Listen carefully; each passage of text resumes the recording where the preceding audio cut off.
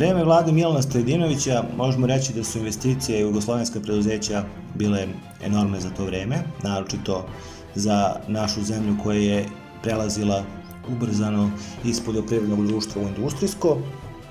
To je čuveni dakle, koncern Krupp koji u 1936. godine potpisao ugovor za Zeničku livnicu i pretvorio u Čeličanu za proizvodnju oružja, Zatim nemačke firme ulaze u Kragujevačku fabriku oružja, to je Vojno-tehnički zavod.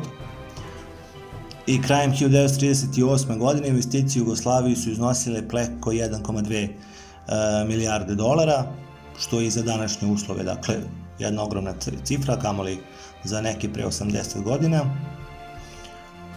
Uh, naša poljoprivredna preduzeća, odnosno zadruge, su imali odlične cene, odlične cene otkupa, na primer šljiva,